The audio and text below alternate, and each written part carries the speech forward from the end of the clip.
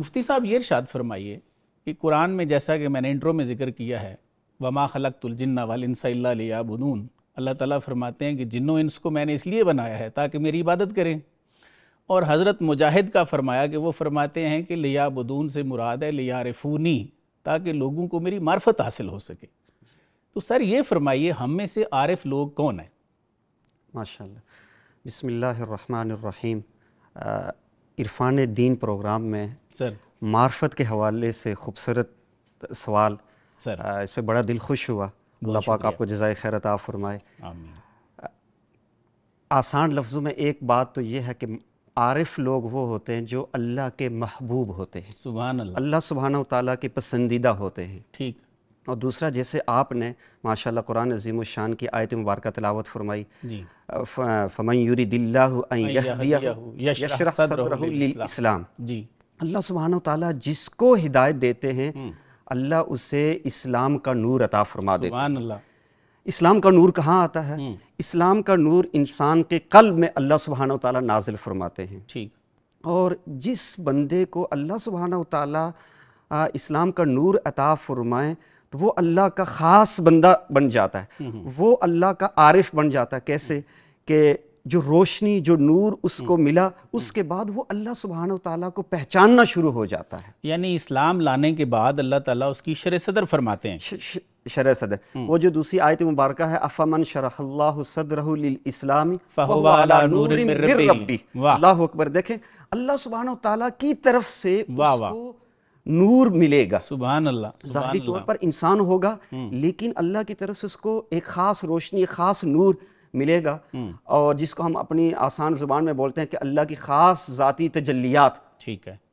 अब जब जिस बंदे को ये नूर ये ज़ाती त- तजल्लियात नसीब होंगी वो अल्लाह सुबहान तला को पहचानना शुरू हो जाता है। सही। और जब इबादत वही करेगा जैसे आपने कहा ना कि लियाबुदून का एक मतलब लियारिफून कि मेरी जो मुझे पहचानते हैं। जी जी।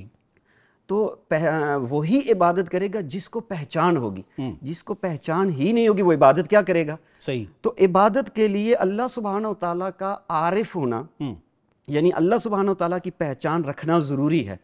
और अल्लाह सुबहान तला की जो पहचान रखने वाले आरिफ लोग होते हैं ये खाली आरिफ नहीं होते इनके अंदर एक बड़ी ख़ास सिफत भी होती है वो आशिक भी होते हैं। सुबहान अल्लाह मशहूर जो एक बात कही जाती है कि शैतान आलिम भी था आबिद भी था हाँ। आरिफ भी था। ठीक है। यानी अल्लाह सुबहाना तला की ज़ात को पहचानता था कि अल्लाह सुबहाना तला की ज़ात है क्या?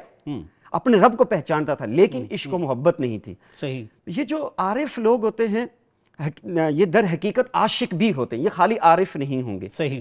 और ये ऐसे ख़ास अल्लाह के बंदे होते हैं कि इन्हीं के बारे में कुरान अजीम शान में अल्लाह ने फरमाया इन्नल्लज़ीन क़ालू सुबहान जैसे जिनको नूर हासिल हुआ और अल्लाह सुबहान ताला ने उनको उस पर इस्तेकामत अता फरमाई। तो बड़े अजीब जुमला कुरान लेके आया कि जो अल्लाह सुबहान ताला को रब कहने पर यानी उस नूर को हासिल करने के बाद उस पर डट गए।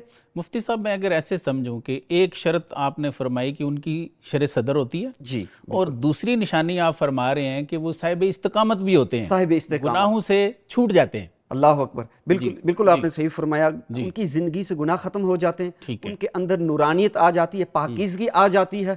फिर ऐसे लोगों के लिए अल्लाह की तरफ़ से क्या इनाम है? हम्म, अल्लाह, तखाफु वाह, अल्लाह वाह। बड़ी खास बात है प्रोफेसर साहब के ये अंबिया के बारे में बात नहीं हो रही।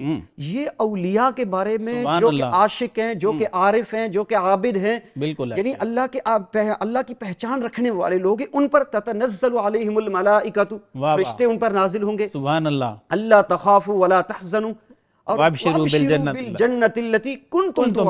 ऐसे बिल्कुल ऐसे। फिर आगे फिर इनके लिए जो दूसरा लफ्ज हमारे यहाँ हमारी उर्दू ज़ुबान में इस्तेमाल किया जाता है।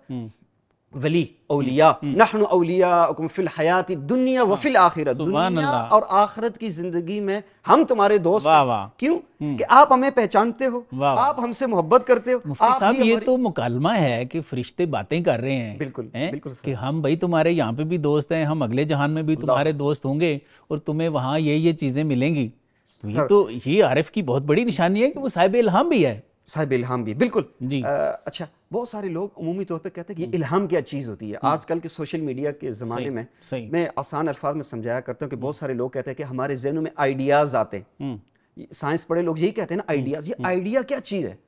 अल्लाह सुबहान ताला की तरफ़ से हमारे दिल दिमाग में एक चीज़ आती है। ठीक है। अच्छा सर इसमें ना हम सब के साथ ये मामला पेश आता है। या तो वो हमारी रहनुमाई शैतान की तरफ़ से होती है सही। या नफ्स की तरफ़ से होती है हाँ। या रहमान की तरफ़ से। बिल्कुल और जो ये लोग जिन लोगों का हम ज़िक्र कर रहे हैं आरिफ लोग इ- इनके दिल में नूर होता है। अफमन शरह सदर इस्लाम। इस्लाम का नूर इनके सीनों में आ गया। ये अल्लाह के मुकर्रब खास बंदे बन गए। तो ये ऐसे सच्चे आरिफ बन जाते हैं कि इनको फिर हर चीज़ फरिश्ते इल्हाम देते हैं। फरिश्ते इनको इल्हाम देते हैं बिल्कुल।